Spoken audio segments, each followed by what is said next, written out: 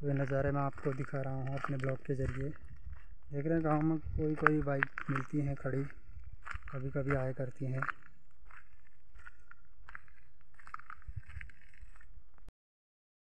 और दोस्तों देख रहे हैं गाँव में ऐसी रोडें हुआ करती हैं, सुनसान रोडें कभी कभी इनमें गाड़ियाँ चलती हैं, जंगलों के बीच से गुजरना पड़ता है। और ये सुनसान रोड आप देख रहे हैं इस तरीके से। कई किलोमीटर चलने के बाद जो है यात्रा पूरी होती है। गाँव में इतनी बेकार रोडें होती हैं, देख रहे पत्थर ही पत्थर और मिट्टी मिट्टी है, काली मिट्टी यहाँ की है। बहुत मुश्किल सा होता है गाँव का जीवन। कठिन, कठिनाइयों भरा होता है।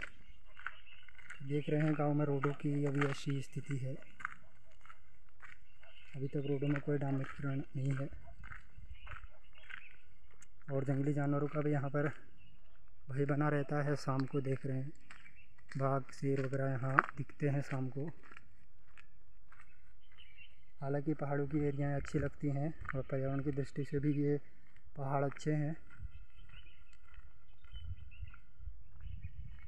तो ये पहाड़ों की एरियाओं को ही मैं ज़्यादा दिखा रहा हूँ ताकि आप लोग देख सकें नए दृश्यों को और आपका भी मन अच्छा बना रहे। पेड़ भी काफ़ी हुआ करते हैं यहाँ पर, जैसे तीन का पेड़ है ये। रास्तों की स्थिति में आपको दिखा रहा हूँ, कितने पत्थर हैं, रोडों में चलने में कितनी दिक्कत होती है। कई किलोमीटर चार पाँच किलोमीटर की दूरी तय करने के बाद हम अपने घर तक पहुँच पाते हैं। तो अभी रोडों पर कोई वाहन नहीं है कभी कभी चलते हैं। कोई यात्री नहीं है, क्योंकि सुबह शाम ही चलते हैं ज़्यादा।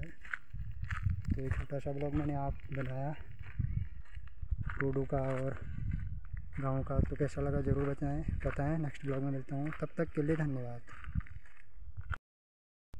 नमस्कार दोस्तों, आज का ब्लॉग मैं स्टार्ट कर रहा हूँ और आपको सुंदर नज़ारा पहाड़ का दिखा रहा हूँ। आसमान में जो है, हल्के हल्के बादल हैं अभी और जो पहाड़ की आप एरिया दिख रहे हैं, सामने जो मैं दिखा रहा हूँ, ये हल्द्वानी है और इसके ठीक इधर को नैनीताल है और ये जोलीकोट और ये गाँव है।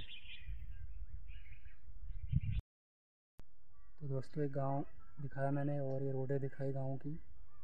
कैसा लगा है ब्लॉग? ज़रूर बताएँ। और ऐसे ही सुंदर पहाड़ों के नज़ारों को मैं आपको आगे को भी दिखाता रहूँगा। तो आप लोगों का सपोर्ट चाहिए। नेक्स्ट ब्लॉग में मिलता हूँ।